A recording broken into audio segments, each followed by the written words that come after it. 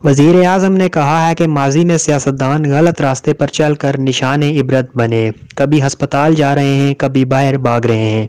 बाप की चोरी को छुपाने के लिए बच्चों को भी झूठ बोलना पड़ रहा है। लूट मार का पैसा कभी किसी के काम नहीं आता।